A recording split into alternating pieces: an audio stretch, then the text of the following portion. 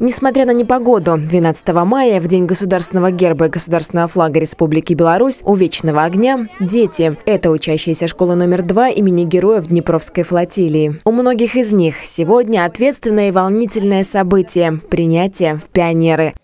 Я. Я. Вступаю в ряды.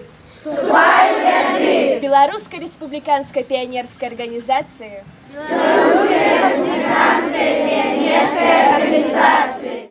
Красно-зеленые платки повязали на шее четвероклассников. Дружина имени Ивана Чуклая, школа номер два, пополнилась на 58 новых членов Белорусской республиканской пионерской организации. Всего в школе гордое звание носят 540 ребят.